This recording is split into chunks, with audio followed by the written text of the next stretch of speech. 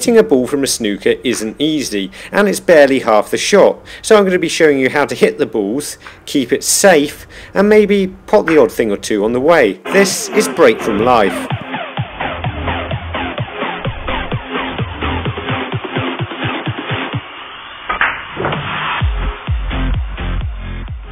Welcome back, and if this is the first time you've watched one of our videos, then it's fantastic to have you here. Let's start by looking at the basics, what you need to do to hit a snooker. As the balls are lined up in a line here, hitting the halfway point on the cushion between the white and the pink will guarantee us we hit it, just like this. But as I've already shown in the video that's in the card right now, playing the shot with side spin can drastically change the point on the cushion where you have to hit the ball.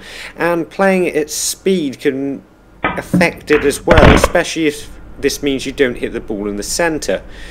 Other ways you can get out of snooker is to very simply play a swerve shot. I could easily play this off the cushion here, but what I'm going to do is I'm going to strike down the, on the cue ball, hitting it in this position, and because I'm striking down on it it's going to spin all the way around the black and swerve back towards the pink and we're just going to clip the pink on the edge hopefully here. So this is your three basic ways to get out of snooker.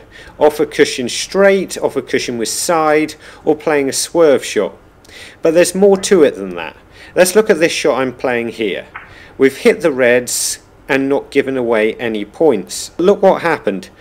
I've left an easy red on and an easy black on and anybody playing now if they play the shot correctly could split the reds everywhere and score a lot more points so I haven't given away a few points but I've given away a lot so even playing this shot and missing the pack like this will result in only me giving away 4 points because they're unlikely to be able to hit the red. And this is why snooker has what is known as the miss rule. And this is what the miss rule is for in snooker to try and prevent players taking advantage of a foul shot by letting their opponent have the balls replaced and making the player play the shot again. Now, if you'd like to know more about the rules of the game, like the snooker jump shot rule, for example, then why not check out that video on our channel page, as well as a load of other videos that'll help you dominate at the game, and make the commitment to becoming a better player by subscribing to the channel. So let's look at what you can do when you are in a snooker. To start off with, I could play for this red, but it's a lot harder than playing for the pack of reds because I've got a larger target to hit. Now if I play for this the reds on this side, I'm going to have the problem that I'm leaving a good chance of a pot on the next red. So what I can do instead to make sure the shot is safe is play the white across the other side of the table and then play into these reds at a very slow pace so I don't move very much. What you want to do when you snook it is prevent your opponent from having a pot. And if you can't do this prevent them from having an easy shot. Now when the reds are open like this it's a lot harder. And you'll end up having to play shots like playing that thin off that to get safe on the top cushion which hasn't left anything straight forward on. And I've got a similar shot here. Now I'm going to take advantage of the fact there's three reds together to get back safe here. But if you're down to one red this is a very tricky shot. But this is a lot better than playing into the reds hard and trusting your safety to luck. When the balls are all spread open like this, another thing you can do is take advantage of balls that are close to cushions and it's important to get behind them and try to block any sort of pot if you can.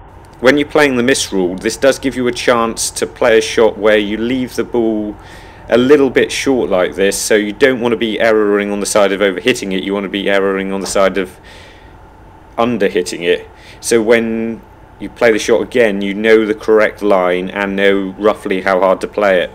Swerve shots are rarely the right shot to play because you can lack a lot of speed and control on them, but sometimes like this it is the right shot to play where you have a lot of room for error on speed and direction. A few quick things to look out for here.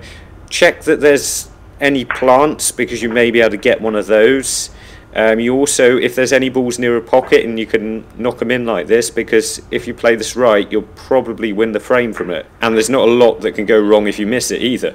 Always try to play a shot as well on a line where if you miss it, you're not going to leave anything on. So if I play this off two cushions like this, this can't leave anything on until I go a long way past the yellow and I've just hit it and that's more or less a perfect shot. When you've got simpler hits like this one you want to be playing them with more control. I'm trying to find the top cushion here.